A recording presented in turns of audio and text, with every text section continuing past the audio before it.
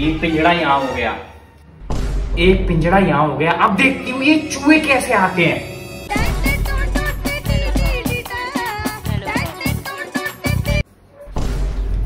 भाई देख फिर से बल्लाटी ने चारों तरफ़ पिंजरे बिछा दिया। अब हम खाना कैसे खाएँगे?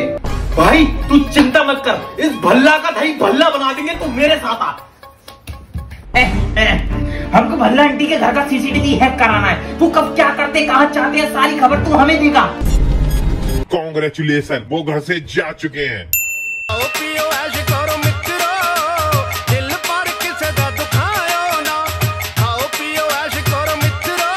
थैंक्स बड़े भाई आपने मेरा पेट भरवा दिया। अगर आप नहीं होते तो मेरा क्या होता? जापना तुसी ग्रेट हो तो कबूल करो।